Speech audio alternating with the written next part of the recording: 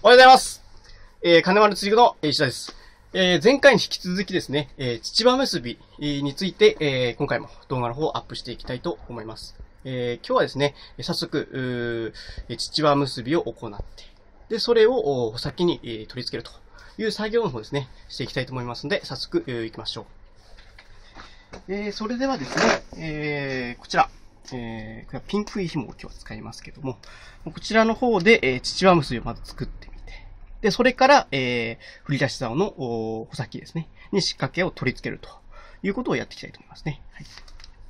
これですね。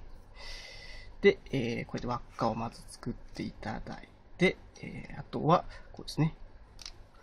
こう、こうですね。こうやって、あと一回ひねってあげると。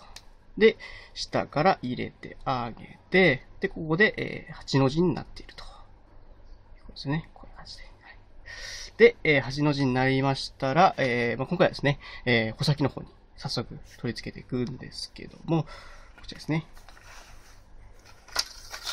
こちらの方の穂先、これリリアンですね。こうやって曲がりますけどね。ここにつけていきますからね。で、えー、まあ、早速つけていきますけども、おこういう形で。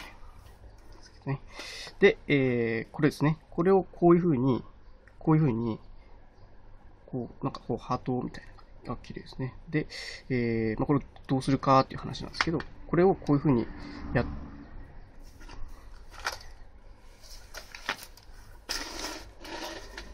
こうやったらですね、こうやって、こういう風にや、見えますかこれを、こうですね。こうやって、こう。で、これを、このまま、あリリアの方につけていくと。こういう風に。こうやって。これで締められますからね。こうやって。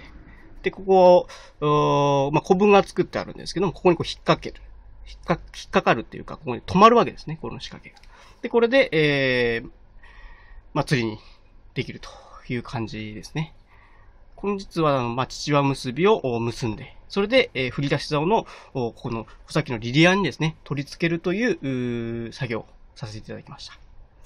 で、まあ、これはですね、普通にこっちの、部分はいらないですからね。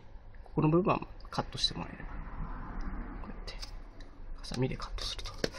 こういう形で、えー、まあ、仕掛け、こここれ長いですけどね。今回は、あの、取り付けるっていうことだけなんで、これで、えー終了とさせていただきたいと思います。